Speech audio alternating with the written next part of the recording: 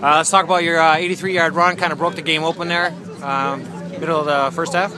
Um, yeah, I saw one of my linemen, he kicked the guy out, so I hit it up in the hole and I just tried to score for my team. Uh, talk about this game, uh, how much it's going to prepare you guys for next week, heading uh, in your first round of postseason against Deerfield. I mean, it was a tough game for us, so we just got to come out and work hard together and play as a team. Yeah. Uh, talk about uh, the balance of the defense for you guys. They scored first, um, then you guys scored 31 unanswered. Kind of took off from there. Yeah, we started off slow, but we had to pick it up in the second. I mean, he's been steady for us all year, and uh, you know, one of the top backs in the county. And you know, when when we need a play, we call his number. Uh, tell me, I talked about about a tune-up for you guys for next week. How did this guys play for you? What, what yeah, did you gain it's a from great this week? game for us. I mean, um, real good football team. Um, you know, great quarterback, good receivers, physical defense.